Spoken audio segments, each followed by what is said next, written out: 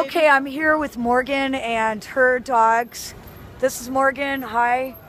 This is Shameless. Shameless. Are we getting you in there? Hi, Shameless. And this over here This is Zuri. Zuri. Hello. Hi, Zuri. Hi, baby. And that's Pico. Hold on, let me cover Zuri back up. There you go, buddy. All right. Okay. And this is Pito. Hi, Pito. Hi, Pito. Hi.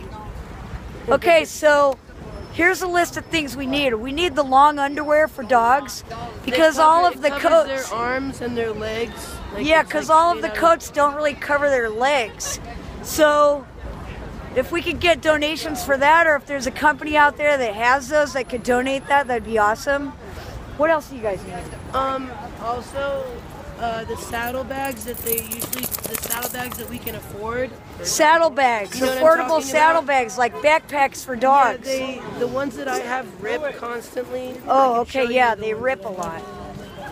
A good, See? a good pair would be awesome. Because, I mean, I'm not gonna put anything else, but they enjoy carrying their own food. These Right.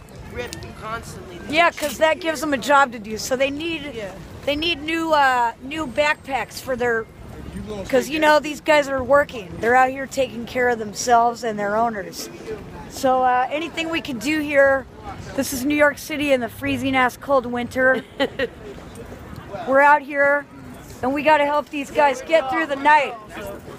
Got to help them get through the night. That's what we're doing. All right, guys, stay warm.